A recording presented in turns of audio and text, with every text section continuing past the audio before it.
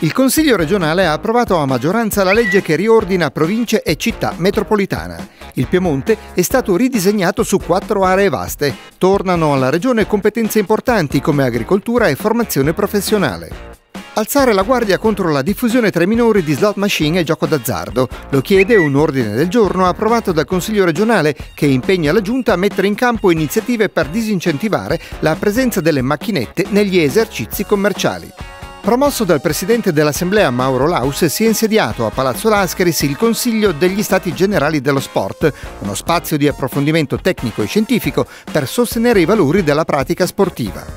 Per la prima volta in Italia l'Agenzia dell'Unione Europea per i diritti fondamentali, con il Comitato diritti umani, ha presentato una ricerca sullo sfruttamento lavorativo a danno di chi si sposta all'interno dell'Unione Europea o di chi vi fa ingresso.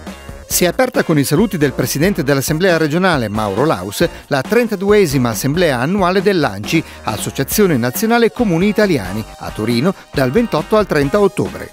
Il Consiglio ha partecipato all'appuntamento con un proprio stand istituzionale. I presidenti del Consiglio regionale e della Giunta, Mauro Laus e Sergio Chiamparino, hanno ricevuto a Palazzo Lascaris i fratelli Martin e Bernard de Matteis.